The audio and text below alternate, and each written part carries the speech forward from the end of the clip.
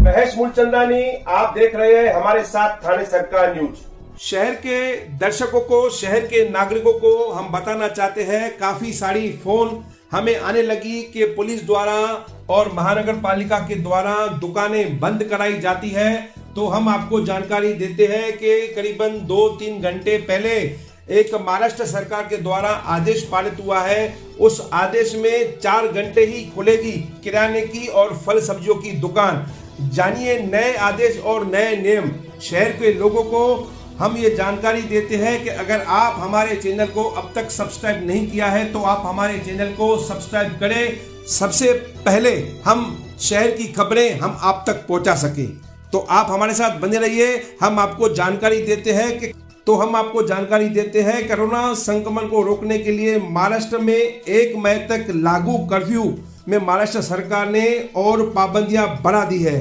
राज्य में किराने की दुकान और सभी तरह की खाने पीने की दुकानें। फिर आपको मैं जानकारी देता हूँ कि राज्य में किराने की दुकान और सभी तरह के खाने पीने की दुकानें केवल चार घंटा खुलेगी। इन सुबह सात से ग्यारह बजे तक ही खोलने की अनुमति दी गई है। पहले नाइट कर्फ्यू फिर वीकेंड लॉकडाउन और अब मिनी लॉकडाउन में भी कोरोना की रफ्तार कम नहीं हो रही है और इसके वजह से राज्य सरकार ने पाबंदियाँ बढ़ा दी है। महाराष्ट्र सरकार की ओर से जारी आदेश में कहा गया है कि सभी किराने की दुकान, सब्ज़ी, फल, डेयरी, बेकरी, सभी तरह के खाने पीने की चीज़ों की दुकान, चिकन, मटन, मछली, अंडे की दुकान सहित कृषि उपकरणों के संबंधित दुकान, जानवरों के चारे की दुकान सवेरे सात बजे से ग्यारह बजे तक ही खुली रहेगी। हालाँकि इन दुकानों से होम डिलीवरी सुबह सात बजे से शाम आठ बजे तक जारी रहेगी। हालाँकि स्थानीय प्रशासन की ओर से समय में बदलाव किया जा सकता है। मतलब कि अगर वहाँ के महानगर पालिका द्वारा आदेश में कुछ फेरबदल किया जा सकता है, मगर सात से ग्यारह सरकार के आदेश जारी हो चुका है। सवेरे सात से ग्यारह बजे तक सभी जो अति आवश्यक वाली चीज़ें की दुकानें भी है, वह भी उसमें आ जाती है। केवल मेडिकल की दुकान को छोड़कर बाकी सभी दुकानें सवेरे सात से ग्यारह बजे तक खुली रहेगी।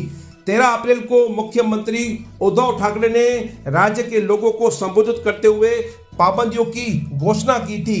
पाबंदियों को लॉकडाउन का नाम न देकर ब्रेक द चेन मुहिम बताया था। इस दौरान सभी गैर ज़रूरी सेवाओं और गतिविधियों पर रोक रहेगी। पूरे महाराष्ट्र में धारा 144 लागू रहेगा।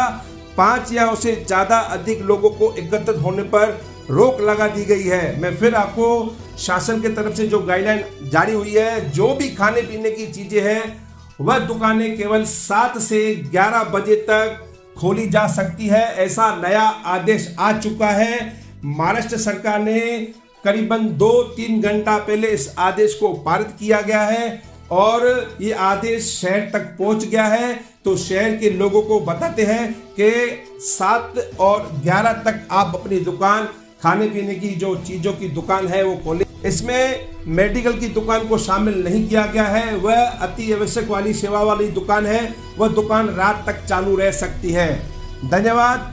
अगर आपने हमारे चैनल को सब्सक्राइब नहीं किया है तो हमारे चैनल को सब्सक्राइब करें, ताकि सबसे पहले शहर की खबरें हम आपको पहुँचा सके। धन्यवाद।